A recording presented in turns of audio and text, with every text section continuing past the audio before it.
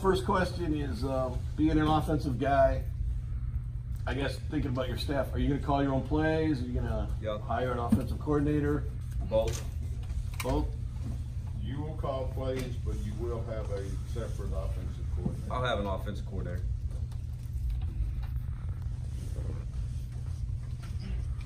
What attracted you to this position in particular, coming from FBS to FCS? Yeah, just knowing and understanding the tradition of being here. Uh, you know, I played Division two football at Angelo State University, who played McNeese. I've known about McNeese for a long time. Uh, it's like I talked about, this brand uh, is, is nationally known. Uh, it- it's, it's well known in the coaching family, and you can count me in on that. And, and when this, uh, when the job came open, uh, obviously had high interest in it because I knew it played in a great conference. I knew you re- recruit great talent here. I knew there were great facilities here, and just an opportunity to, to, to be a head football coach at a place that's that's uh, always had tradition and a place that's supporting and, and set up uh, for success. Coach, um, when you talk about filling uh, filling the coaching staff, uh, you said by January. Is it is that is there a certain deadline for you to have it filled, or is it just kind of it gradually get filled in? I mean, you know, it's about getting the right guys, and you know, at what point in time is that? I mean, you'd like it done before we get guys on campus and with officials and all that stuff. So right now, I'm just combing through, uh, making sure that that uh, uh, you know got the right fit, talking, getting, you know, talking to the right references and, and calling people. You know, again, making sure we got a right fit for, for who we want here, uh, why we want them here, and, uh, you know, if they're in alignment with the, with our vision and direction that we're going. With, given your background, how important is hiring a defensive coordinator? And like, how much autonomy will he have, or will the, kind of the breakdown to? Yeah, I mean, extremely important. Uh, you know, just that, that, that he's going to handle that side of the ball. Um, there's a, you know, guy that's had success, uh, guys that has experience with it. Um, so, um, yeah, I mean, it's, a, it's an important hire, and obviously one we're in, we're in the process of. Did you ever uh, give any consideration to retaining any of the previous coaches, uh, and if not, why not? Um, yes, and you know it's just about making sure you got the right fit and the, and the, the right guys. Uh, you know, going for your program, you know at the end of the day, um, I got hired here to win football games, and you got to win it. Uh, you know, with the decisions you make on a daily basis and during the season, you got to feel 100% confident in those decisions, 100% in on those decisions. And when you get an opportunity to, to be in this position, um, you, you want to make sure you got the, the right people involved, and, and that's what it's about. Uh, is you know there's a there's a trust factor there. There's a you know factor with those guys being successful and being able to pick get the right guys. And again, go back to um, you know there, there's a nice pool to be able to choose from uh, of guys that want to they'll go guys want to come here coach. Well, just to clarify, I mean, will you consider people that are on, that are currently on staff? Uh, yeah, yes, sir. Um, Bruce talked upstairs a little bit about, we've talked a lot about with McNeese, attendance and all that, and an exciting brand of football offensively. What are you gonna do to make, how do you balance the winning with excitement? I think they breed each other. I mean, I think I think they go hand in hand. I mean, if, if you if you win, you know, people are going to show up and, and support it and, and want to be a part of it. It's, it's you know when winning's going on, it's a, it's a great environment, it's a great atmosphere. Uh, you, you tie in the community, uh, you tie in the, the university, you tie in our our students. Um, I mean, it, it just really all fits up, and, and you kind of uh, really don't have one without the other. Uh, you know, so you put a winning product on the field um, you know, people to show up, and then everything. It's everything I was talking about, being able to, to field this stand and have home field advantage. When we play at home, we have home field advantage because it matters. Mean, it matters to play at home. You go other places and play on the road, it's tough. It's tough to win on the road. I mean, whatever night it is, Friday, Saturday, Sunday, it's tough to win on the road. And you come home and you've got a great environment, great stadium, that you can pack this place up and, and the cannons are firing, like I said, and the cowbells are ringing. And I mean, we need to make this place a home field advantage for us, you know, when, when we're at home. Because it Coach, matters. the, the latest, the latest move really over the last, gosh, maybe four or five years at this level is to bring in transfers, to bring in JUCO players and things of that nature to really uh, fill voids quickly and Yes, maybe win quickly. Is that part of the, part of your strategy or you, are you a little bit more old school and we're gonna develop in the high school? Yeah, I mean, I, I think you just got to evaluate. That that's the biggest thing with those transfer guys. And anytime you take a, uh, whether it's a recruiting a high school kid, transfer guy, or a JC guy, it, it's about evaluation and finding out as much information you can about that player. Uh, and and uh, you know, does he fit us? You know, that, that, that at the end of the day, does he fit us? Um, and you know, is, is he going to be in alignment with our culture and helping us, helping us win? And, you know, that's kind of where it starts. So. Uh, you know, not opposed at all with uh, with transfer guys guys, uh, but it's about having the right one. You know. With it being so late, with this year being early recruiting, it being so late in the process, have you been in contact with guys that were previously recruited for McNeese? Mm-hmm. And how many of them do you like, and how do you have to go through all of them again? Yeah, so I'll, in, in that process right now, and uh, just going back through. So I've, I've had a contact uh, with a few of them, and obviously we'll be back on the road hitting, you know, hitting recruiting. Uh, but you know, as far as the early signing day, um, you know, let this. I mean, we just went through the full season of it, about to, meaning that it, in its first year. Um, so, you know, it's probably not as dramatic as what people make it out to be about not signing a ton of kids and stuff on on early signing day. I mean, what it gives us an opportunity to do is give give full evaluation and go, uh, you know, again, go recruit the right kids. And then, you know, what you do if you fill up in December, all right, now now there's six, eight kids out there that have that have filtered back down from you know some other place. You know, now now you can't go get them. You know, so uh, it, it's a great opportunity for us to go recruit kids uh, go evaluate kids and, and have contact with kids. Uh, you know, just rounding out this class. So as far as signing day, early signing day, you know, I, I'm, I'm, I'm good. And, and uh, you know, some of our committed guys, I just had this conversation last night. If they, if they, if they're 100% committed to us and, and then you want to sign them in December, then sign.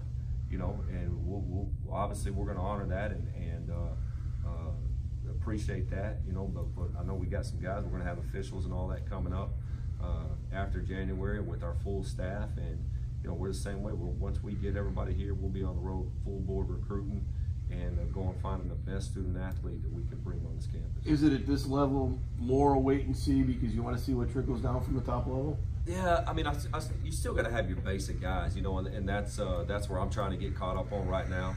And then, you know, just uh, again, you go back to, you know, staffing, uh, my relationships with, with with a lot of guys down in this, you know, south uh, south region uh, where I've, you know, being able to reach back into those guys and and um, and our connections, being able to utilize those. But yeah, I mean, uh, it, a little bit of it is, and uh, you know, the good thing is just go create a board, go create a pool of guys and kids that, that we feel really good about, and uh, you know, go go attack those guys. Coach, uh, the, the current quarterback, uh, who pretty much redshirted Cam Smith, Delray Beach, Florida, if I recall, was he ever on the radar at South Florida? What do you know about him from his prep days, and what kind of talent uh, do you? Yeah, I really don't know much about him, know. so I really can't. I really all those questions to answer all those questions probably no, because I, I don't. I know I know he's here, but uh, as far as anything else, I really don't. I And, don't and a follow up to that, you've got you, you've had a string of some uh, some pretty talented quarterbacks and Yes, sir. offensive players. What, what what's the magic pill for you? Where is the where's the dust come in uh, in developing players, especially at the quarterback? position?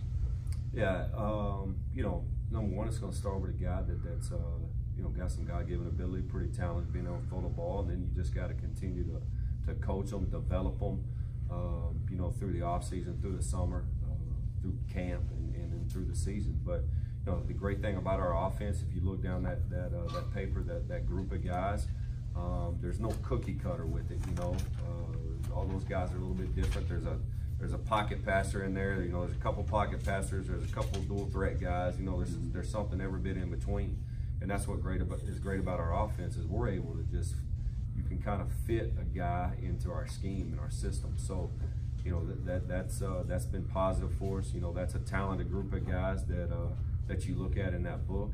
Uh, but they're all a little different, you know. But at the end of the day, the thing we're going to look for at a quarterback, you know, be the most competitive guy on the field. The guy's going to be high character, got to be able to throw the ball well, and if he can, if he can extend the play with his feet and do those things, then you know that that's just a plus for us.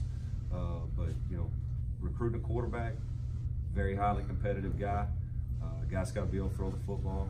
Um, you know, and and a guy that's won games. You know, you're looking for a winner, and a kid that carries those intangibles uh, in that spot. So you look back at those guys you're talking about. You know, they really match those qualities. Bruce, um, with the obviously coach has experience with quarterbacks and developing them. We haven't seen great development in quarterbacks over the years here from year to year. Is that was that an important thing that he's developed quarterbacks in the past for you guys to look at? It was a combination of all of the above, Jim, from, as we talked about upstairs, from the involvement with the relationships with the players, with the community, and the success that he's had uh, with his offense, his knowledge of knowing where to go to get good defensive coaches too. So it was the, the fact of that he is very well rounded and ready for the head coaching position. With that in mind, coach, we talked a lot about at this level, you may not get the God given talent guy, but how much is development at the FCS level important compared to getting the talent? Yeah, I, you know, I mean, I think that's what recruiting's about. It's about it, about evaluation. You know, go find that guy because there's guys in this southern region. There's good football coaches. All right, and there's good football coaches throughout the country, but down here you got really good football coaches. So, you know, what you're able to do is just go evaluate, go find that guy. Uh, that, that maybe you got to, you know, tweak something here or there. Okay, so. So absolutely, I think it's huge at any level. That's the one thing that, that I will say. It doesn't matter you know, you know what that middle letter is, whether you know it's B or, or C, you know. But what you got to go do is is develop them, all of them, from the quarterback position, all you know, running backs, O line, D line, linebackers. I think it's about continued development with all those kids, and I'm talking about you know strength and conditioning wise, uh, skill wise. Um, that's why you go hire quality coaches and, and develop and teach and, and move those guys to get them to be able to produce at a high level. But you know, like I said, at all those levels, same thing. I mean, you're constantly coaching those guys. Mean, you look at that list, Jimmy Garoppolo, constantly coaching that guy. Shane Buechele, constantly coaching that guy. Quinton Flowers, constantly coaching that guy. You know, Dane Evans, constantly coaching that guy. So, you know, it, it's about making those kids, you know, better. I mean, it's what we talk about. We're going to be to get better business, and it's the same with those guys. But, you know, you get the thing you're limited, uh, you know, with in college is, is how how often are we able to have our hands on those kids and being able to, you know, you're talking about camp, the season, and spring ball. You know, so you're a little bit limited in, in that time. So you got to you got to coach the mess out of them during fall camp. You got to still coach the mess out of them during the season, and then during spring ball, you you get those those days going, and uh, that's where you got to really lead them going into the summer, uh, because the summer is going to be up to them. You know, and that's where your leadership comes in and then those guys want to be really great at the end of the day. That they continue what they got out of spring ball through the summer, that it carried right into camp. Recruiting wise, uh, quality coaches, a guy like Matt Mattox has followed you everywhere. Is that somebody that you're going to consider bringing on? Yeah, I mean, just with that staff, I mean, yeah, I mean, I got a, I got a group of, of uh, uh, talented coaches, uh, you know, that, that I'm still assessing and looking at and recruiting, and, uh, and, and, and obviously trying to get here at McNeese. So yeah, I mean, he's he's one of them. Have you made an offer to anybody yet? Um, nah, close. I mean, I'm close with it. I mean, there, there's a few guys that, that, that got a couple offers out there, uh, and then and then a couple. I'm like I said, I'm still getting information on guys and making sure it's a fit. Coach, you, you took this job with McNeese in the Southland and, and, and in FCS. Yes, sir. Was there any discussion of like, okay, uh, uh, this is a great job, but is there any plans for McNeese to, to make the move eventually and try to get or at least discuss the, the upward move to FBS? Yes, sir. Was No, that sir. part of the discussion? No, sir. Not at all. No, sir. Coach, uh, how do you feel your time? Well, two things. How do you feel your time at USF ended, and also, do you feel like this is kind of a fresh start, not just in the sense that it's a new school, but it's also your first uh, head coaching position? Yeah, no, uh, I mean, great opportunity, great success. Uh, you know, with Coach Strong and, and at South Florida, I mean, had an opportunity to coach some talented kids. Um, you know, a year ago, being ten and two. Uh, you know what we were able to do this season. Uh, you know, with a younger group of guys and breaking a new quarterback. So, you know, I I, uh, I love those kids. I mean, I have multiple conversations with uh, with ex players, I, uh, or you know, guys that I just coached. I you know talked to one last night and and uh, quite a few during the day yesterday. So um, you know, had a great opportunity there. It was a great place. Uh, we had success, you know, and and uh, appreciate and, and love those kids that I was able to coach there. Um, being from Texas, coaching in Texas, how is your relationship with Texas coaches right now as far as recruiting goes? And do you think you have a at least a footprint in that area? Absolutely. Uh, you know, the, one of the best things about uh, Angelo State University, where I went to college at, it produces the most high school coaches in the state of Texas. So not only my fraternity of football guys I played with, but, but guys that just went to school there that are setting out and that are Texas high school coaches. There's not many schools in the state of Texas uh, where there's not an Angelo State guy there. And like I said, I was a high school coach, uh, you know, for right at you know for nine years in, in Texas, and uh, so the relationships not only coming from college, but I was able to grow uh, during during my time doing that, and then as a GA at the University of Houston, and my my one season back in Texas. I mean, everywhere I've been on my resume coaching in college, I recruited Texas and recruited kids. So I've stayed in contact with. I mean, part of uh, I mean, I had multiple people reaching out to me saying, "I got kids, I got kids. You know, when are you gonna come see me? You know, sending me Hudl stuff." So, absolutely. And um, you know, it's all about relationships and knowing people, trusting people, and knowing that that they, uh, you know, you go into that certain school, you know, that you're gonna get a quality kid. And uh, you know that that that stuff matters. Uh, you know, go back into staffing. That's the same thing. Being able to hire guys that got ties in this direct region and area uh, that are going to be able to help us get our foot, you know, instantly in the door at a lot of schools. First time coaching in Louisiana, what is your main thing you're gonna do to kind of establish ties with the high schools around here in the state? Yeah, get out. I mean, that, that's the number one thing. I mean, you know, it's it's good and everything to, to get on the phone with guys, but I want to go get in front of coaches, go shake their hands, be, you know, be excited about recruiting their kids. Again, you know, be I've said this before. I'm a high school football coach who has the blessed opportunity to coach in college. You know, at the end of the day, it's about relationships. I mean, I've, dri- I've driven a bus. You know, I've picked kids up, dropped kids off, done laundry, marked fields. Uh, you know, you name it at the high school level, I've done it and had that opportunity. You know, was it coaching the, the seventh and eighth graders, you know, the freshmen, it all the way up. So, I mean, just walking in there and being able to know exactly what they deal with on a daily basis, uh, you know, matters. And then just knowing that, that, that uh, our doors are always open uh, for any high school coaches that come see us, come, come watch us practice, come be a part of what we're doing. Uh, you know, because we're going to be out and about and we're going to be recruiting their kids, you know, and, and, that, and that's what about. So we want to have great relationships across the state.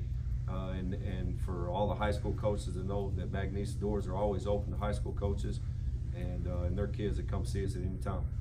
Bruce, he obviously, coach, has, has been in demand. He's made a lot of stops in a short period of time, and kudos to you.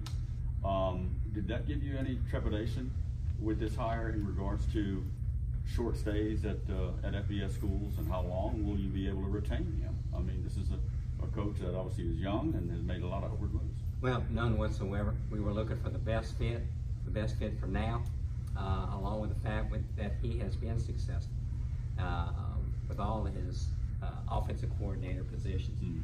and he's been very popular with his players. So as far as going to the future, that took no effect to us whatsoever. Uh, if people come calling, that means that we've chosen the right person uh, to, and we're going to do everything we can to retain uh, him. So we want him here for a long time. Yeah. Uh, are you a patient coach? Meaning, you know, coaches that you know, coach speak is, hey, you know, three years to get it to get it rolling, to get Yeah. my recruits in here. How impatient or patient will you be?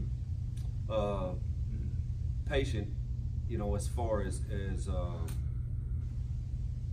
I don't know if you're referencing back to just like going down my resume. Is that what you're asking talking about? Building a program and, Okay. and putting it on the field and winning quickly. Absolutely. Well, just like I told Bruce and we and we've talked about, my feet are firmly here. My feet are here at McNeese, and what I want to do is establish and, and build a program. I mean, here's what I know. I've been in this profession, you know, whatever it is now, 15 years.